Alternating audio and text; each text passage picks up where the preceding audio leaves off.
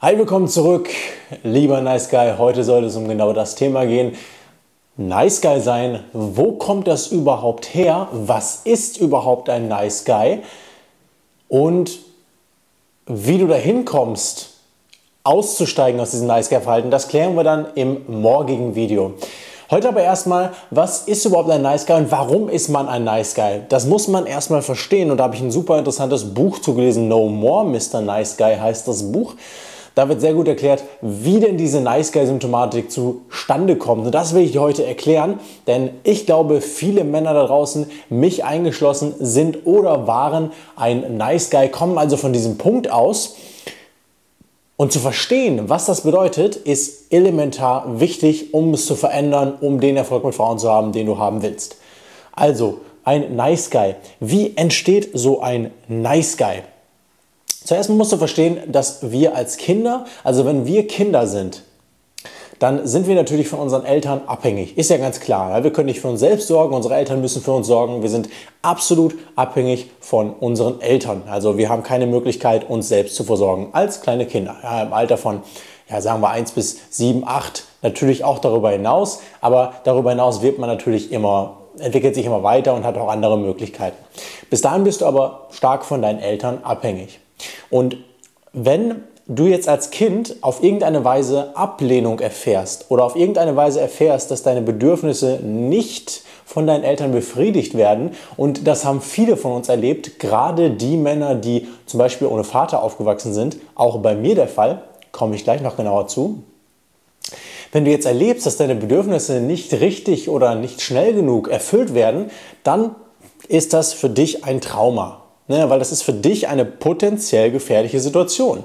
Du als Kleinkind weißt oder du als Kleinkind spürst, okay, ich bin abhängig von meinen Eltern, wenn die mich nicht versorgen, dann werde ich sterben. Und so ist es ja auch, wenn deine Eltern dich nicht versorgen, dann würdest du theoretisch sterben, wenn man nicht, wenn der Staat das nicht auffangen würde. Ne? Also es ist eine potenziell wirklich gefährliche Situation und deswegen prägt sich das so ein. Und wenn jetzt zum Beispiel, wie das auch bei mir der Fall war, der Vater die Familie verlässt, nehmen wir das mal als Beispiel, als Beispiel für, ähm, für, einen, für einen Jungen, für einen kleinen Jungen, der eine unsichere Umgebung erlebt, der ein unsicheres Familienverhältnis erlebt, der erlebt, dass seine Bedürfnisse nicht wirklich gut erfüllt werden.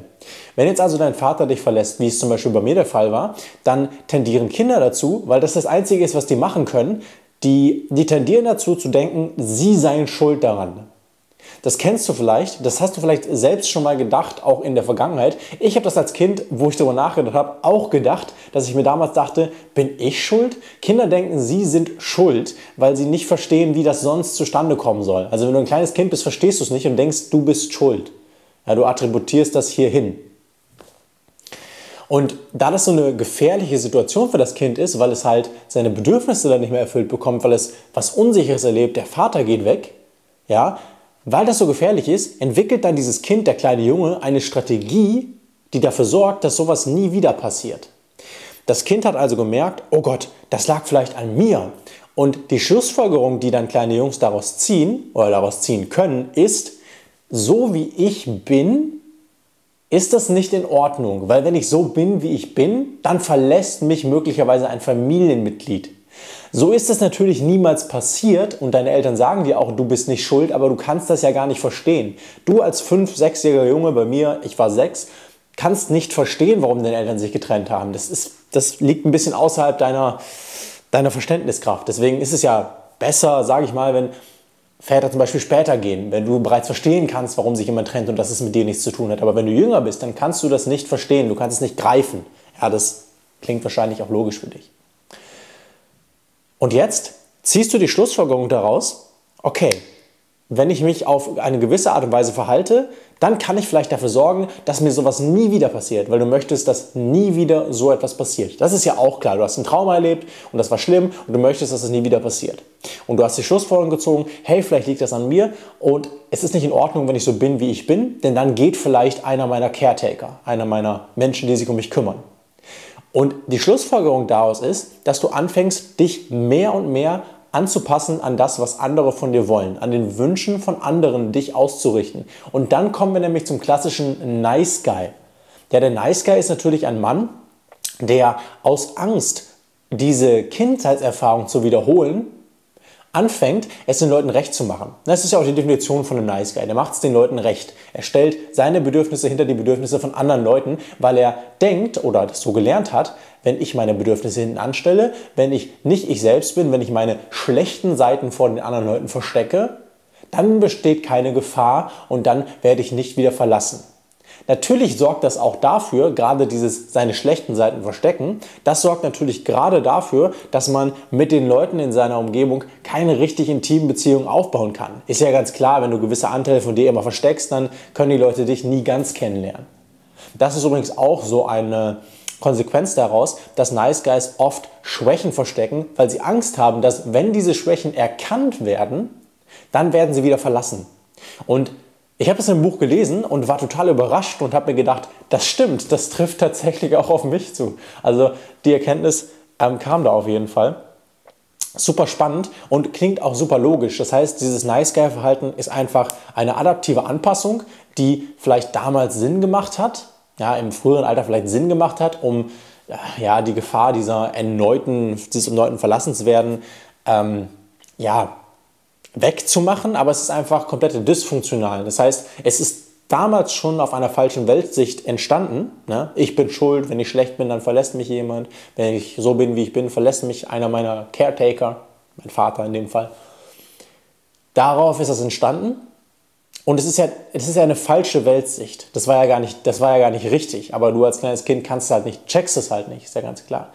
Und so nimmst du dann dieses Verhalten und das setzt sich dann immer weiter fort und wird einfach nur noch dadurch verstärkt, dass du dann unter Umständen, wie in diesem Fall, bei deiner Mom aufwächst und du keinen richtigen Zugang zum, zum Vater kriegst, keinen richtigen Zugang zum ganzen männlichen Thema, zur männlichen Energie, weil ist ja klar, wenn du äh, feststellst, hey, ich will nicht werden wie mein Vater oder keinen richtigen Kontakt zu deinem Vater hast, dann hast du halt auch kein männliches Vorbild und dann wächst du hauptsächlich durch die Mutter auf. Das wird natürlich dadurch nochmal verstärkt, dass im Kindergarten, ich glaube, einer von sechs ähm, Kindergartenlehrern ist männlich, die anderen sind weiblich und auch in der Grundschule sind sehr viele Lehrerinnen weiblich, allgemein sind sehr viele Lehrer weiblich.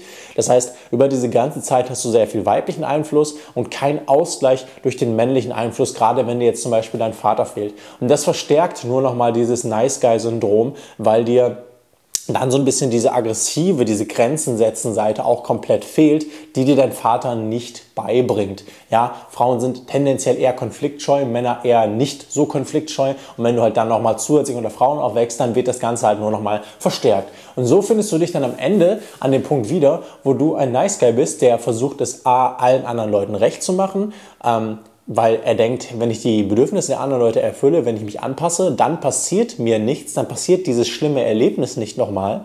Der B seine Schwächen versteckt, weil er Angst hat, sie zu zeigen, weil er denkt, wenn meine Schwächen erkannt werden von, von den Leuten in meiner Umgebung, dann werde ich verlassen. Du möchtest das nicht wieder haben, dieses Erlebnis. Na? Und der C einfach seine eigenen Bedürfnisse entweder komplett ja, zur Seite schiebt oder sie zumindest mal signifikant hinter die Bedürfnisse von anderen Leuten stellt.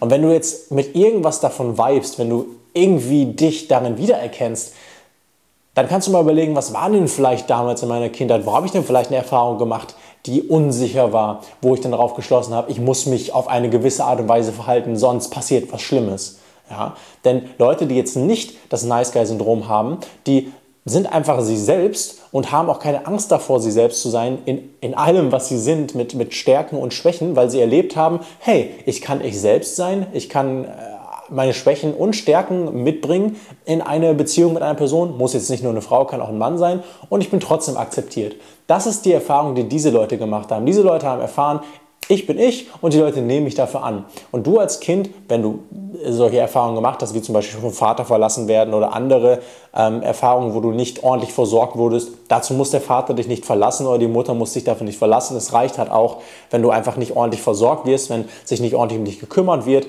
Dafür können ja auch beide Eltern im Haus wohnen. Das kann dann ja trotzdem passieren. Aber wenn du sowas erlebt hast, dann hast du eben erlebt, okay, wenn ich komplett ich bin, dann kriege ich eben nicht das, was ich bekomme und Deine Eltern waren vielleicht einfach schlechte Eltern, aber du führst es in dem Moment auf dich zurück als Kind und passt dann dein Verhalten an.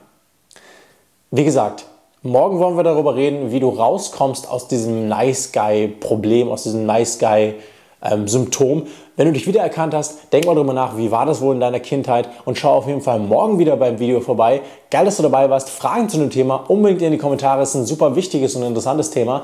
Ansonsten geil, dass du hier warst. Links neben mir kannst du den Channel abonnieren. Unter mir kannst du dich für ein Coaching bewerben. Dann werden wir in den drei nächsten Monaten dafür sorgen, dass du mehr Frauen kennenlernst, eine Freundin findest, viel Sex hast, je nachdem, was deine Zielsetzung ist. Unten rechts geht es zu einem Video, das ich dir empfehle. Wenn dir das Video gefallen hat, schau da unbedingt mal vorbei. Kleine Überraschung für dich. Geil, dass du dabei warst. Wir sehen uns morgen wieder zum Video, wie man das Nice Guy Syndrom auflösen kann. Bis morgen. Ciao.